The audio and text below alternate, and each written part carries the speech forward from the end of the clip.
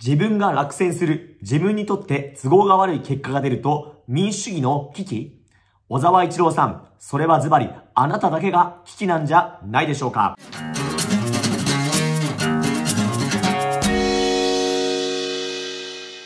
はい、こんばんは。参議院議員の音木俊です。チャンネル登録やいいね、コメントでの応援をよろしくお願いします。え今日は11月の3日に収録をしております。えー、まあ、あの、昨日ですね、え枝野、立憲民主党の枝野代表が、え代表を辞任されるというコメントを発表されました。えまずはですね、本当4年前ですか、4年間、え代表を務めてこられた、え野党第一党の重責を担われた、え党首の、えこの重荷もあったでしょうしね、え改めてお疲れ様でしたと私もお伝えしたいと思います。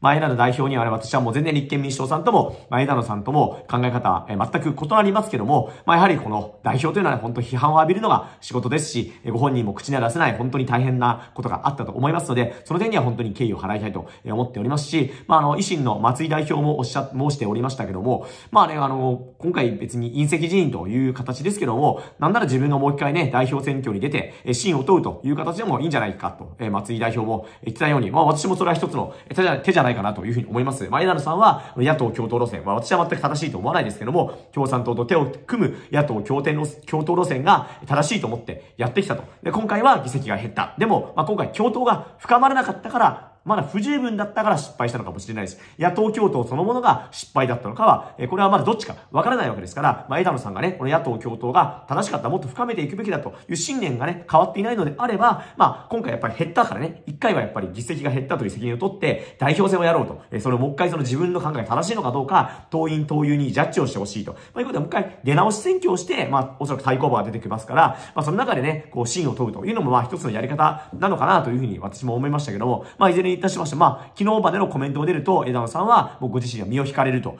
いうことのようですので、まあ、立憲民主党の代表選というのはどうなるかについてはですね、私も国会議員の一人として注目をしてまいりたいというふうに考えております。まあ、そうした中でですね、ちょっと今日コメントをさせていただきたいのは、小沢一郎さんがえツイッターで発信していたことに、まあ、いろいろ物議が醸し出されておりますので、これちょっと民主主義のね、根幹に関わることなので私もコメントさせていただきたいと思います。まあ、小沢一郎さんがですね、11月1日、まあ、つまり落選が判明した直後にですね、まあ、あの、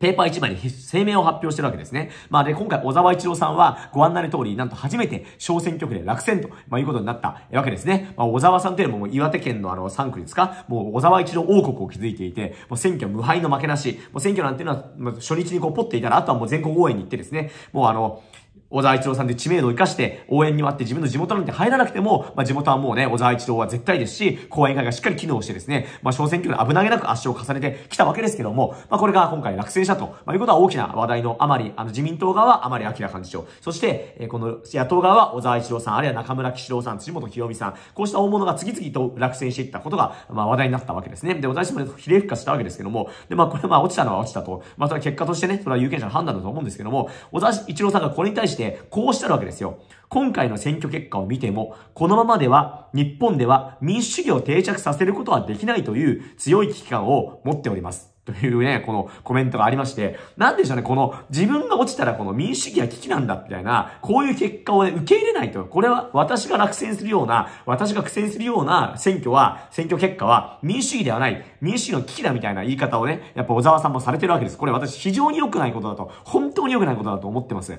で、これ、あの、小沢一郎さんに限らずですね、例えば今回維新は、おかげさまでまあ、躍進と、一定の躍進と言われるような結果を特に大阪とかで出すことができたわけですよね。そうするとやっぱりこの、まあ、維新を批判する方々、アンチ維新の方々は、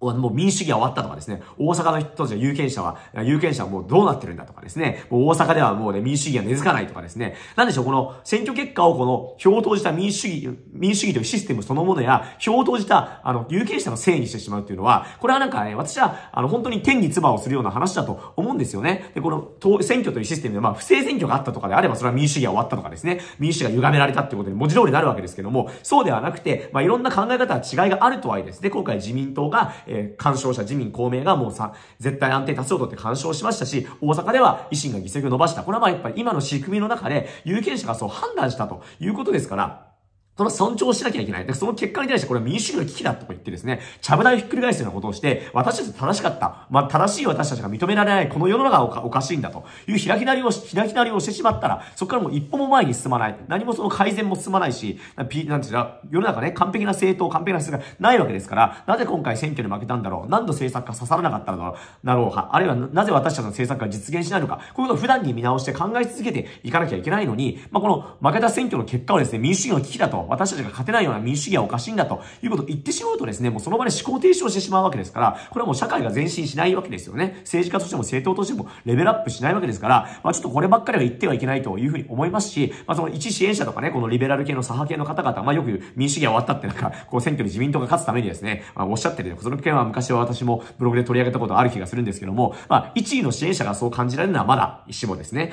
やっぱり小沢一郎さんのような、まあ、非常にこの大物政治家も何十年もこの民主主義社会で政政治家をやってきた、議員をやってきた、えー、この、まあ、今の、今は野党の方の象徴的な大物政治家がですね、自分が落ちたからといって、えー、この民主主義が危機的だということはね、ちょっとこれはね、いくらなんでも言葉が、えー、過ぎる状態というかですね、もう本当に手をにつばするような、自らの尊厳もすらも傷つけるような言葉だと思います。ですので、冒頭にあの述べた通りですね、これは民主主義が危機なんじゃなくて、小沢一郎さんがただただ危機的な状況にあるだけであって、それを民主主義全体にまで話を広げないでいただきたいと、私は僭越ながら、えー、小沢一郎さんには申し上げたいというふうに、えー、思います。まあ、今後、えー、枝野代表の、えー、枝野代表後の、えー、人事、えー、選挙でどうなるか、えー、わかりませんし、この立憲民主党共産党の立教合作、この野党共闘が深まるのか、見直されるのかというのは、えー、わからないですけども、まあ、私はね、もう何度も申し上げている通り、全くこの主義主張が違う、まあ、一部の政策が違うどころかですね、根幹で目指すものが共産主義か否かというところで、全く違う人たちが選挙前手に手を組むということは、これこそむしろ民主主義の、あの、危機であってね、小選挙区制度の中で、そしたら全くせ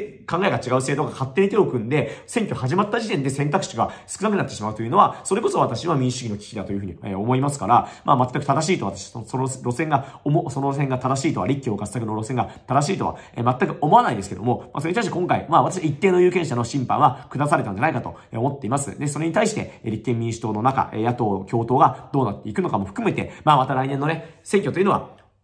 これも大事なことなんですけども、選挙というのはあくまでその時点の暫定の結論でしかありませんから、それが選挙のたびに見直しができるということが、これがですね、独裁政治とか貴族政治とか世襲政治と違っていいとこなわけですよね。一回決めて権力者が決まったら何十年も一緒ではなくて、よまあ、すべても4年に一度、そして参議院選挙、衆議院選挙、地方議員選挙とかいうのがあればね、もう毎年のように、もう毎週のようにですね、いろんなところで選挙が行われて、そのためにですね、国国民有権者の審判が下されて、間違ってることはこう、どんどんアジャスト、訂正されていく。まあ、これは一つの民主主義の、まあ、回りくどいところでもあり、そしていいところでもあるわけですから、まあ、この、えー本当にこの今が民主主義の危機なのかどうか、野党共闘はどうなのか、え自民党はこのままでいいのか、維新は本当に躍進をしたのか、評価されているのか、まあ、こうしたことはですね、普段の見直しがされるわけですから、えこのね、別に不正選挙が行われてない選挙に対して、これが民主主義の危機だとか、そう経験に結論付けずにですね、しっかりと次の選挙に向けて、有権者の方に訴えるべきを訴えていくべきだと思っておりますので、私たちは愚直に行動してまいります。えですので、日本維新の会と音喜多俊也もよろしく今後もご指導ご鞭達の、そしてこのチャンネル登録やいいねボタン、コメントでの応援をお願い申し上げまして、今日の Vlog とさせていただきたいと思います。それではまた次回、さよなら。